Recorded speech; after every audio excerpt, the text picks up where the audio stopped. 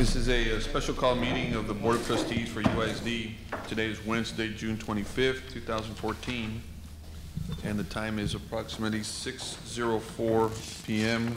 We are here at the uh, 5208 Santa Claudia Lane in Laredo, Texas, the uh, Bill Johnson Student Student Activity Complex. Um, For the record, we have Juan Roberto Ramirez. Present. Ricardo Molina. Present. And Pat Campos. Present. I'm Javier Montemayor. Let the record reflect that we have a quorum. Uh, This meeting has been uh, duly called, and that notice of this meeting has been posted in accordance with the Texas Open Meetings Act, Texas Government Code, Chapter 551. Can we please stand for the Pledge of Allegiance?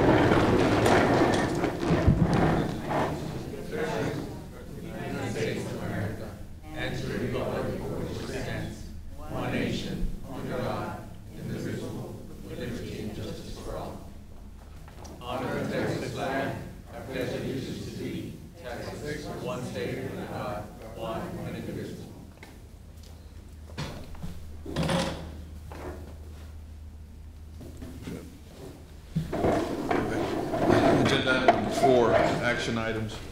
Consideration for the Board of Trustees to decide on the, on the public meeting date, time, and place to discuss the 2014, 2015 budget and proposed 2014 tax rate.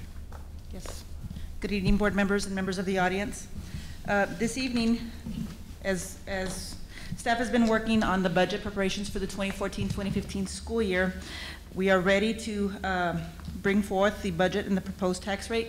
Ms. Laida Benavides will have that presentation and some information with regards to that. Good evening, thank you, Gloria. Uh, Good evening, uh, members of the board and audience. Um, What we would like to do, this is an action item that we usually bring in July, when we're going to adopt our budget in August. Uh, We're ready for the budget. Uh, We will have a special call meeting on Monday, but some procedures had to be done before, which was we needed to publish a notice 10 days before June 30th, and we did last Friday. It came out in the Laredo Morning Times. And so at this point, uh, we'd like uh, Mr. Montemayor to just kind of, uh, you have a copy there of just um, announcing to the public about the public meeting that we are going to be having uh, next week, um, next Monday. Okay. Now, For the record, I have a notice of public meeting to discuss budget and proposed tax rate, which indicates that the United Independent School District will hold a public meeting at 6 PM, June the 30th, 2014, in the Bill Johnson Activity, Student Activity Complex, 5208 Santa Claudia Lane. You want me to continue? Yeah, the purpose of the meeting, Okay, um, all right. The purpose of this meeting is to discuss the school district's budget that will determine the tax rate that will be adopted. Public participation in, the- in, in the discussion is invited. The tax rate is ultimately adopted at this meeting or at a separate meeting at a later date. May not exceed the proposed rate shown below unless the district publishes a revised notice containing the same information and comparison set out below and holds another public meeting to discuss the revised notice. that's fine, sir, right there. And that's exactly um, announcing to the public. Uh, We will have a public hearing that will start at 6 o'clock, and then the special call meeting will, will start, I, I think we have it scheduled for 6:15. Um, Then, and it's going to be here at the, at the Fine Arts Building. The, the second item, uh, it's the approval for the board to vote on the 2014 proposed tax rate as published in the notice for the public hearing. Um, I know this is kind of strange because you're not really voting for the tax rate. It's just a formality to say this is our proposed tax rate right now as it appeared in the publication. So I, I don't know, uh, formal action would be, I guess, somebody just approving um, the recommendation there. Can you tell us what the proposed tax rate is? I'm sorry, uh, for the maintenance and operation, we're proposing it to stay at a dollar four. Uh, The debt service tax rate right now, it's proposed to be zero point eight, one eight four eight six oh, which is exactly three cents more than the current rate we have right now. However, uh, we sold bonds on Monday, and that's where uh, Estrada and Hinojosa are going to present some information on that. And it was a very good deal. Uh, The market rates were down. And so when we come in August, we are assuming that it's going to be less than the 18 cents, that we won't need the full 3 cents.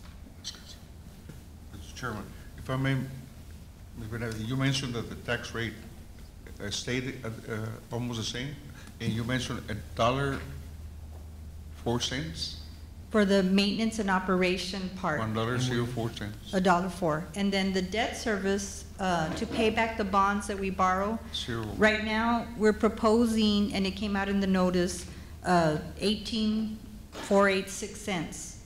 However, in looking at our calculations, we just sold the bonds on Monday, we, we are very close to not thinking we're gonna need that. We're, we're looking at more at less than two and a half cents. However, we're still gonna get our certified roll from the Webb County Appraisal District, and we'll come to you in August for the official adoption of the tax rate. All right. So I just, just to clarify for the record, it's uh, that we, number one, have good news because it seems that you are on track to have a lesser uh, tax rate than what was proposed um, initially uh, through the, through the bond program. And then secondly, uh, that you do have a balanced budget um, that, that, that you're working on. And uh, that's also, you know, further good news for, for, the- for the school district. That's correct. That's correct. So, Okay. and we need a, I guess, a motion to adopt the Yeah. proposed tax rate uh, uh, That's- as recommended. That's where I was going. Can I get a motion to approve the proposed tax rate? Got a motion and a second. Any discussion? All those in favor signify by saying aye. Aye. All those against, motion carries. Thank you, Ms. Benavides. Thank Benavides. you. And Mr. Montemayor, we could just go back, I know, uh, it's listed as an action item, uh, just to kind of maybe for the board to just uh, adopt the statement that you read earlier for the record uh, as agenda item 4A, if there could be a motion to adopt I got a as, motion. as presented. Second, Have a motion to adopt as read the notice of public meeting to discuss budget and proposed tax rate with the second. Uh, All, any discussion on that? All those in favor? All those opposed? Motion carries. And agenda item number five, informational item discussion of bond pricing terms for United Independent School District Unlimited Tax School Building Bond Series 2014 and related bond purchase agreement. Yes, we have in, in the audience today, uh, Robert Tijerina from Estrada Hinojosa, uh, our financial advisors, and Dan Martinez from Winstead, uh, PC from San Antonio, who is co-bond counsel along with Juan Cruz and Associates. Uh, this was our team and some underwriters that y'all approved, uh, earlier, uh, this year, I think a couple of months ago, to help us sell hundred million dollars in bonds. Uh, Just one of the things to share with you was that we were first out there in the market this week. There was about seven or eight deals that were going on in the state of Texas. We were one of the we were the second biggest at 100 million. And so uh, I think Mr. Tijerina has very good news to share with the board this evening. Zaragoza, Thank you, Ms. Benavides. Again, for the record, Robert Tijerina Estrada Hinojosa, financial advisor for the school district, uh, handed out a presentation. And behind tab one, not going to go over in detail, but again, as Ms. Benavides stated, on page three, there's about 10 other financings that were in the market this week, and we decided to sell bonds on Monday morning, and on page three, we listed the other financings. Behind page three is just a history of where interest rates have been over the last few years. We're still in a historical low interest rate environment. Now, if you turn to page, or actually behind tab two, page nine, sources and uses, as Ms. Benavides stated, we sold a hundred million, or we had authorization for a hundred million dollars worth of bonds, but in reality, uh, we were able to sell eighty-seven million, six hundred ninety thousand was the par amount. And then you had the premium right below that of thirteen point two million, which got us a total of a hundred point, a hundred million, nine hundred twenty-five thousand, two hundred and forty-three dollars and seventy-five cents. But if you look at the very bottom, the uses, in the school district's project fund, the district on July 31st will receive $100 million for the construction renovations of all the projects. So we're able to sell 87.6 million and still be able to get you $100 million worth of projects. And again, that's due to the premium that involved uh, the cost of issuance being funded uh, by the premium. Now, behind page nine is just some other similar financings that were in the market, uh, pretty much are comparable to United ISD, have Laredo ISD, Clear Creek, uh, Clear Creek ISD, and Manor ISD. Now, behind that page, the following page, the tax rate impact analysis, the interest rate, if you notice on column E, row three, The interest rate on the financing is 3.89%. Almost a year ago, when we were contemplating calling a bond election, we were expecting about a 4.9%. Just in May, a few months, uh, last month, we we're expecting 3.99%. It's 10 basis points less, 3.89. And again, on column E, we have the principal and interest payments for the financing. We have a small interest payment that's scheduled on August the 15th, 2014 of 181,000. Already discussed that with staff. But again, if you go to column O, line four, the staff and the board uh, communicated to the public that if they approved a $400 million, $408 million bond election, the total tax rate would be about 12.9 cents. Based on property growth, based on the low interest rate we got in the market on Monday, we're showing right now, if everything stays in place, property values go up, instead of 12.9 cents, we're looking at 9 cents, so almost 4 cents less. And again, the increase that we're expecting for this coming fiscal year in about a month or two, instead of a 3 cent INS tax rate increase, if you notice on column O, row 12, it's 2.46 cents. So that's about half a cent less due to the low interest rates. Now again, behind tab three, it's just the rating letters from all three rating companies, Moody's, S&P, and Fitch, the PSF uh, insurance letter from TEA, and also the cover page of the OS. But in a nutshell, the rating companies had some really good things to say about the school district and what staff has done and the board has done.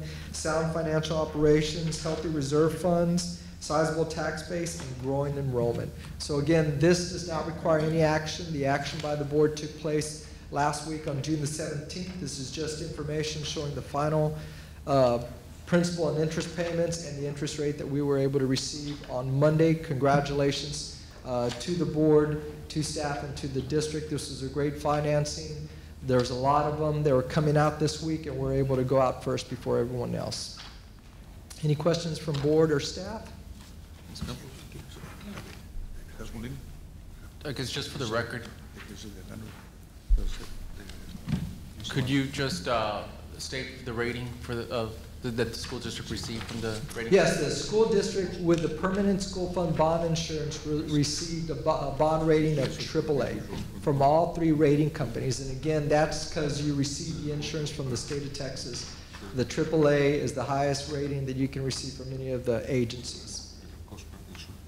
I'm just, I just, uh, just to verify my own curiosity. Yes, sir.